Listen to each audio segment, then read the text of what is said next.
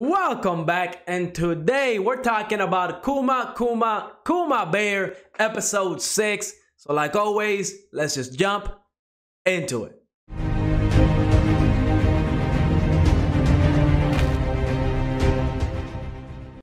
Episode 6 of Kuma Kuma Kuma Bear was a really heartwarming, very happy episode. And while it was awesome and I loved it and I liked all the characters that were involved, it kind of raised some red flags because to me, I feel like every time we get such a happy episode, it's gonna be uh, balanced by something dark, something tragic coming up. I could be wrong.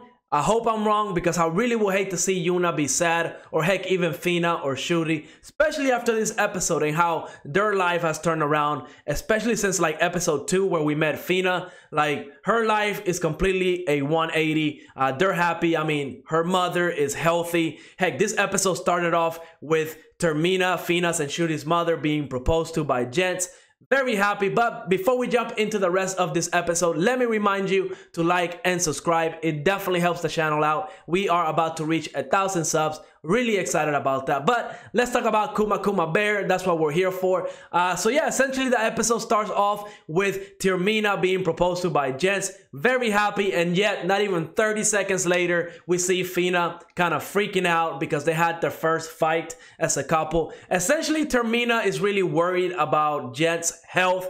Uh, she doesn't want him eating like a lot of ketchup or a lot of honey. You know stuff that would make somebody's like cholesterol spike up. I don't know. But Termina is just worried about Gentz and his eating habits, and they gotta get into a little a little couples fight. No big deal. Everybody has those. But Fina and Shuri, they're children. They really don't understand that kind of stuff. So they came up to Yuna for help to get the snowflower. Essentially, we we learned that you know Fina's mother her father and Gentz, they used to be in a party together. They used to go on adventures together, right? Uh, really wholesome uh, party. They, they really were close. And essentially, Fina wants to get that snowflower because she remembers her mother telling her the story about how the whole group found that flower and it would be a nice memory to have. So they set out on this adventure and you know, it was just cute seeing Shuri kind of being exploring the outside world. Maybe this is her first time going outside of the city and you know, she's eating all these different fruits that she's not supposed to eat because they're not ripe. She's over here poking a bee's nest. It was really funny. It was really cute. A, a wholesome, cute episode. I, I really did uh, like this episode because it, it was just heartwarming, right? Now, once they get to their destination, long and behold, there is no snow flower. Plot twist, uh, no snow flower. So essentially, you know, Fina and Shuri are kind of worried because if they can't get this flower, they won't be able to fix uh, Gentz and Termina's relationship, which is not really the case, right? Again, they're children. Um, I feel like Yuna was kind of just humoring this, right? Because Yuna kind of understand that they're adults and kids should not really interfere in, in the couple's relationship. Again, to me, that fight just seemed like so, like, it wasn't even a big deal. It was about ketchup on eggs, right? Like, no big deal at all. I'm pretty sure the adults kind of thought of it as no big deal as well. But nonetheless, Yuna really wants to see Shuri and Fina be happy. She really does look up to them like little sisters, right? So Yuna, again, remember, she doesn't have any family. So I feel like while this episode was really happy and heartwarming and stuff like that, when you look at it from Yuna's perspective, it's kind of like a sad episode, right? Because even though when we saw Yuna be on Earth, she only cared about the game and stuff like that, we never got to meet Yuna's parents, so we don't know if Yuna is missing them. I'm guessing she is because Yuna is not a heartless person.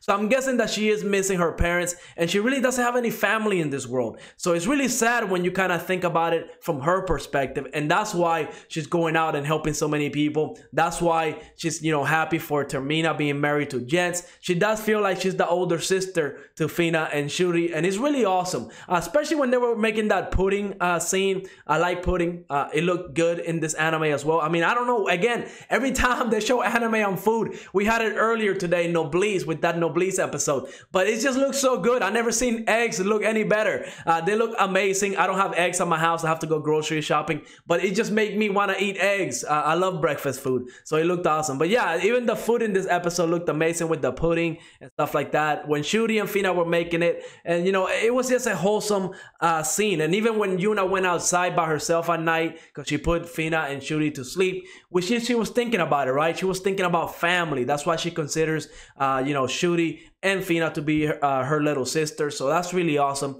Um, you know, hopefully nothing bad happens to those two, because I would I would really hate to see Yuna have to go through some type of loss that would be anywhere close to Yuna, I mean to uh, Shuri or Fina. Like if imagine if one of those two characters were to get ill or sick or pass away or anything like that, like it would just be traumatic for Yuna. Now, I'm sure this anime is not gonna go to those darker tones. Again, ever since episode one, everything has been happy and stuff like that. I don't think it's going to get sad, but you never know. Again, this episode was way too happy for my taste because I feel like they're they're just gonna bring it down. I feel like they were trying to get the viewers really happy, really comfortable, and in an episode or two, they're gonna take everything away and it's gonna hit like a truck. So I'm just I'm just kind of you know bracing myself for this just in case because I really would hate to see Yuna being any type of sad. Now, the last bit of the episode, we see that Yuna was thinking about everybody that she has ever helped. She kind of made pudding for all the people in the orphanage. That was awesome. She gave uh, pudding to Lord Cliff, again, a goaded person for what happened in the last episode when they had the embezzlement uh, scandal going on where, you know, he didn't know that orphanage was not getting the, uh, the amount of money that they needed to sustain themselves. So I love Lord Cliff. I hope we get to see, see more of him because I really want to see his character. I love the character, especially after the last episode. But essentially, when Yuna was at his house giving him the pudding, uh, it's gonna set up the next episode, like kind of like the next uh, adventure for Yuna. We see that uh, Lord Cliff wants Yuna to take uh, Noah to the capital. And I'm sure the capital is going to be a whole different world. I think this is where we are going to see the uh, stuck up nobles, the nobles that don't care about the peasants and stuff like that. So Yuna might run into some trouble with the law, maybe. Who knows? Uh, or you know, she might help the king out, whoever whoever that is. We might get to meet that person. She might help the king or queen out, and she gets even more power. Uh, also, the last thing I want to talk about is the whole pudding thing. To me, ever ever like every second that Yuna was making that pudding, I was thinking like, man, she's about to make a lot of money. Like she's already making a lot of money with that eggs, even though she's not getting the capital for that. It's more for like the orphanage. But you know, the whole pudding thing, she can sell that idea and make a lot of money because it's something that that town does not have right now. So